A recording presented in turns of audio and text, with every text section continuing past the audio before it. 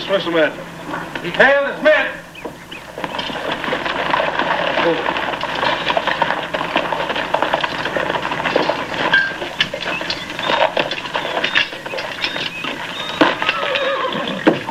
How many lost, Lieutenant? 22 of them, three of us.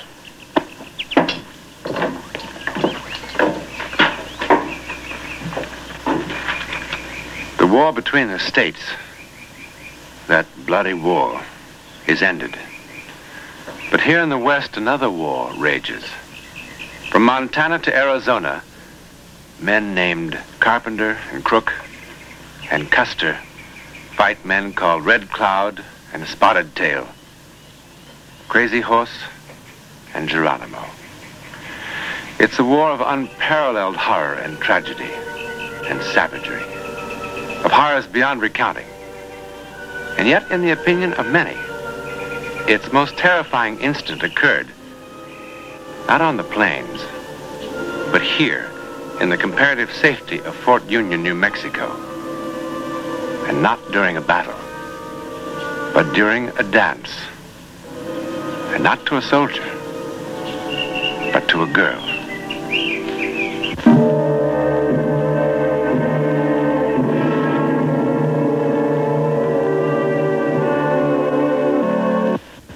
This is in the regulations. Well, we better check and find out, sir. Oh, by all means, first thing tomorrow. To the devil with the Apaches. So, where'd you run across them this time? North of Las Cruces. 40, 45 Braves. Las Cruces, Doña Ana, Tortugas. Wonder what's going on down there. Well, as a guess, I'd say Escamindon's mounting an attack. Guesses won't feed the bulldogs. We'll have to know. I know that, sir. I think maybe you better have another drink. Medicinal purposes. Combats fatigue. Thank you, sir. Eustace? I think we can let this report go for a little while. You've been through enough. You go on back to quarters. Well, I... Uh... Surely you'd like a rest. Well, yes, sir, but I was... Well, Judas Priest, Lieutenant. You'll want to clean up a little bit before you see her anyway. You'll have plenty of time. She's at the sutler's store. They just brought in a new shipment of Eastern silk. And if I know my daughter and my wife, they'll be there half the day. Now, go on. Yes, sir. Oh, sorry. Oh, no, no. Come in, Buchanan. Come in. Uh, Eustace, this is one of the new officer replacements. Lieutenant Fairchild, Lieutenant Henry Buchanan. I'm honored, Lieutenant. The honor's mine, Lieutenant. Colonel? Buchanan, you're uh, new in this territory. Come over here. I want to show you why we're worried. So that's Fairchild. Hmm? Nothing, sir. Nothing.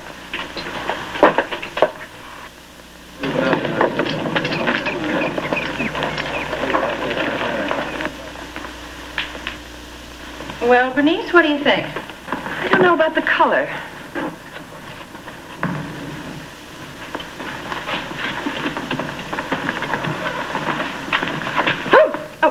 Now, Henry, if you muss my hair. Henry.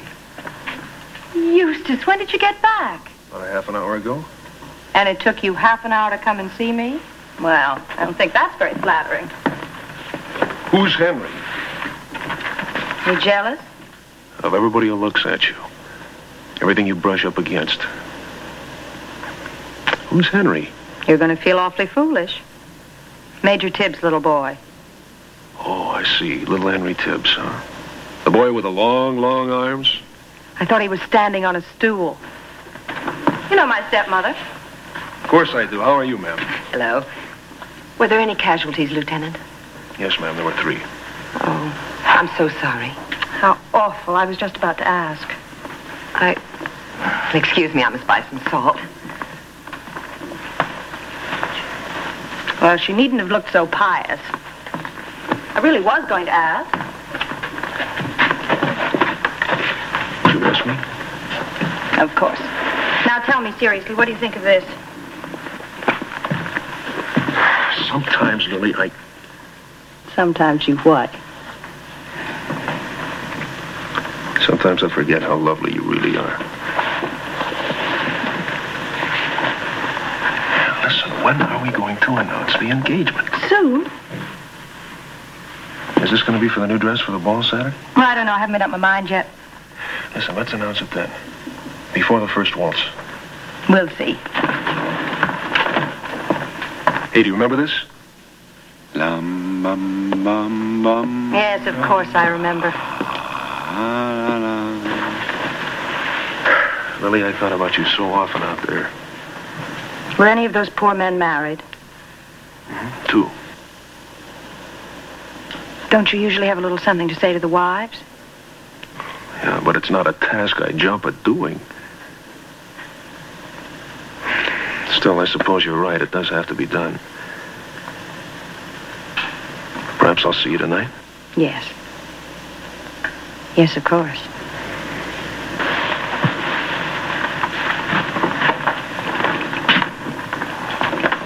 Mrs. Clark? Good day, Lieutenant. That is a very nice young man. Oh, to me, he seems an exceedingly drab one. Alongside Lieutenant Buchanan, you mean? He asked me to the ball. Which he? Both. And so you accepted both. You have a very popular stepdaughter. I have a very unique stepdaughter. She's the only unmarried girl on the post. Do you know, Bernice, sometimes you sound like those wicked stepmothers in books. The ones who are always so jealous of their husband's children. If you've finished with Lieutenant Fairchild, why can't you have the kindness to tell him so? He's terribly in love with you. Lily, do you hear me? He's terribly in love with you. Oh, fiddlesticks. Besides, who says I'm through with him? A girl ought to have as many beaux as possible. At least that's what Papa tells me. Is that why you've thrown yourself so shamelessly at Lieutenant Buchanan? Ooh, stepmama, you do sound jealous, and you're a married woman. That's a cheap and silly thing to say to me. Is it? You're a vain, cruel girl. And I pity you the growing up you'll have to do. Well, you just save your pity for someone who needs it, Bernice. Whether you know it or not, Lily, you need it.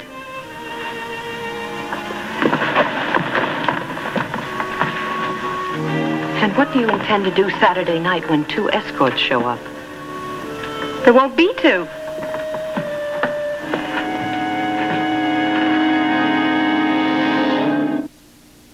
Papa, Hmm? where's Las Cruces? South. Now west. Oh, so that's where all the new trouble is. Someone was saying you're going to have to send out a new patrol. Somebody's got big ears. Papa, Hmm? promise me something. Hmm? Don't let Eustace go.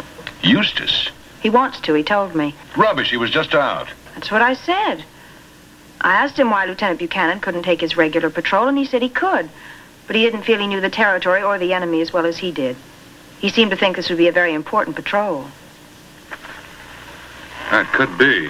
Matter of fact, I don't much like waiting even until tomorrow. Eustace said it might be dangerous to send a boy out to do a man's job. He wanted to volunteer, but I wouldn't let him. It might be much wiser for you, Missy, to leave the military affairs of this fort to the Army. Papa, if you change your mind and let Eustace go, I'll die. If you died as often as you threatened to, Lily, I couldn't afford the funeral bills. Oh, Papa. Now, scat. Yeah. Miss Lily, I admire you so very much. I admire your sense, your soul, and Good evening. Why, Lieutenant Fairchild, how nice to see you. You're acquainted with Lieutenant Buchanan, I believe? We've met. well, it's getting late, Miss Lily, and I have an early patrol tomorrow morning. Wrong. I have the patrol, and it's tonight. You have it, You heard me. but my name was posted. The colonel changed his mind. If he did, Lieutenant, I'm certain he had a good reason. Well, let's say that the colonel had a very pretty reason. Hmm? I think I'd better look into this. Miss Lily?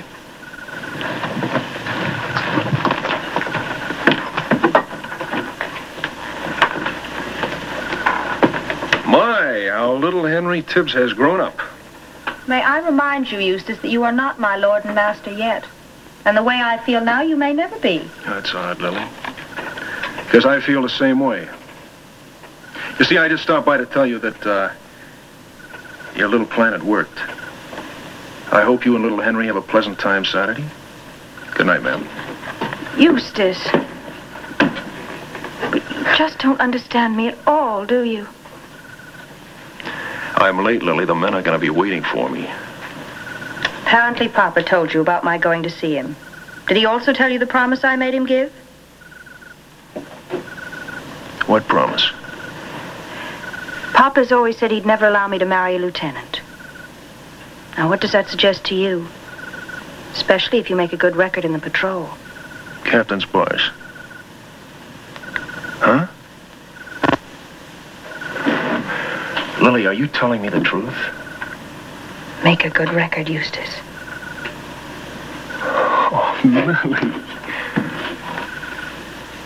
They say the French and English knights used to go into battle with their ladies' handkerchiefs against their hearts. Am I your lady, Eustace? You're my world. Come back soon. I'd come back from hell to be with you.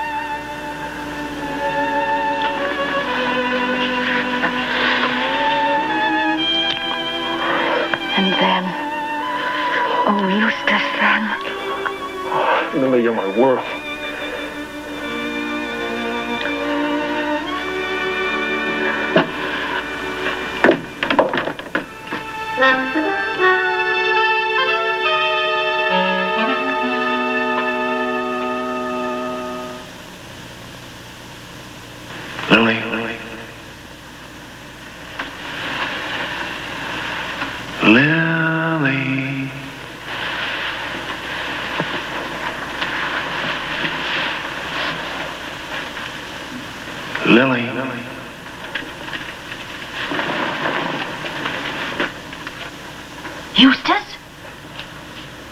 Eustace, are you out there? Answer me. Eustace! Don't you ever knock.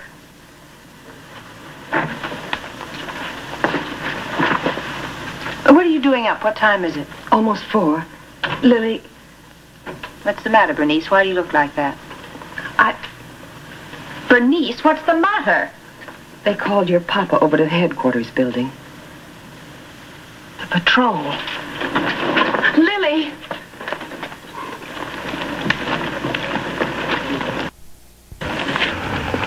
Well? We know they're not Escamindans, Braves. That's one thing. That's one. Another one is it's cost me 18 men to learn I'm in no danger of attack.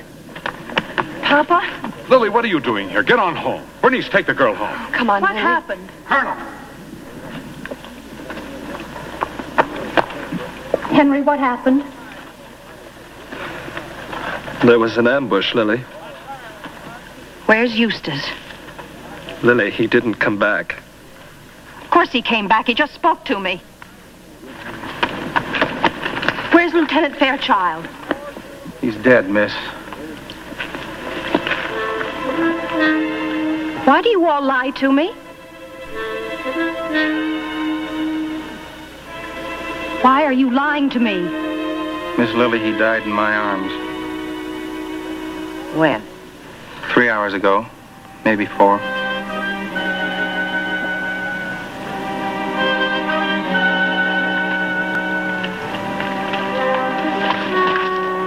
This is what I meant by growing up, Lily. Let me take you back to the house. Leave me alone. I'm all right. I don't need anybody's help.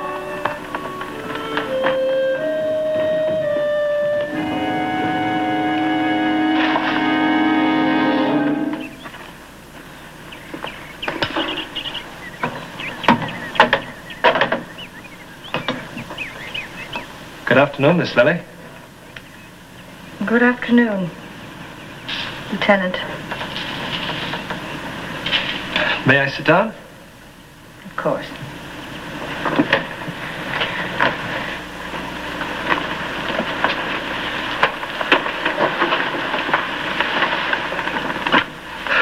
It's very warm. For March. Very.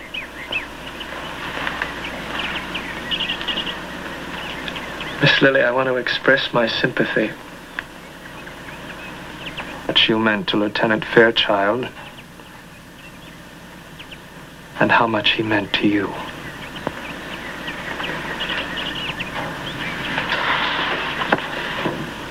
I spoke to the colonel about the ball. I suggested canceling it in view of everything that's happened. But he seems to feel that everything should continue as scheduled. Matter of morale. Naturally, you won't want to come. Why not? Well, I simply assumed. You assume too much. Everyone assumes too much. Lieutenant Fairchild and I were very good friends, nothing more. What am I supposed to do? Throw myself on a burning ghat like some Hindu priestess? It was a dreadful thing to have happened, but it was not my fault. Nobody thinks it was your fault, Lily. I don't want to be alone, especially Saturday night. Take me to the ball. Dance with me for hours and hours. I will. I need someone to love me. I love you, Lily. You're my world.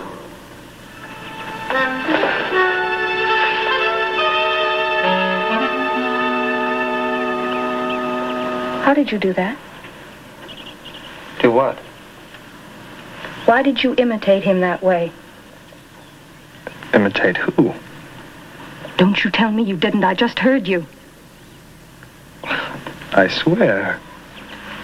Henry, you go back to your barracks. You get away from me.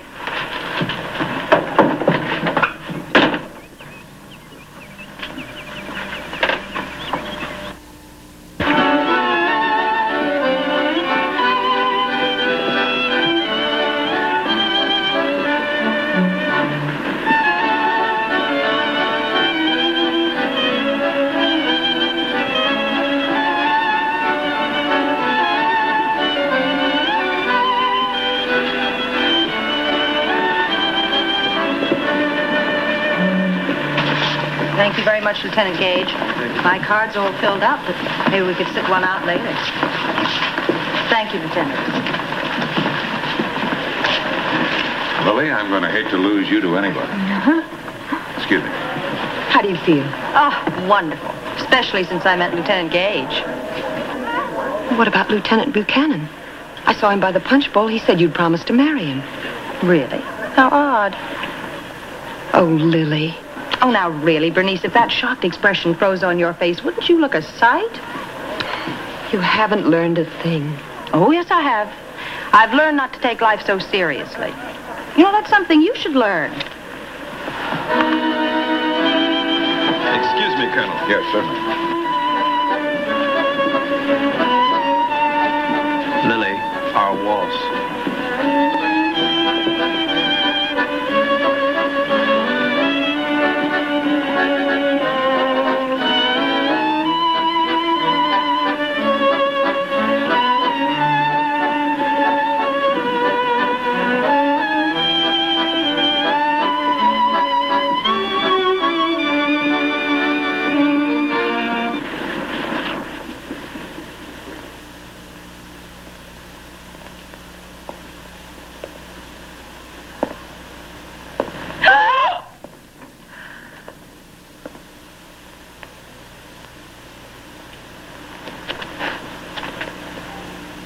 Hum.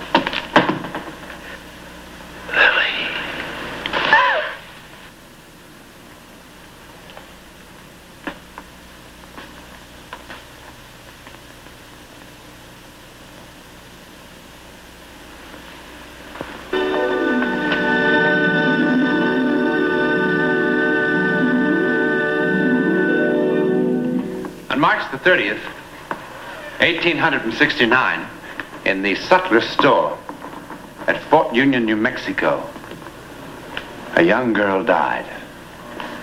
Now, there is no doubt about that. The disagreement centers around how she died.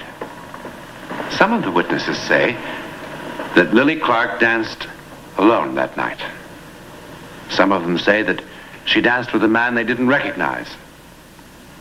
The rest maintain that her partner was E.R. Fairchild, Lieutenant, U.S. Cavalry, deceased. Impossible? Of course it is. I mean, one of the few certain facts in this often absurd and very uncertain world is the fact that there can be no such thing as a ghost. Or can there?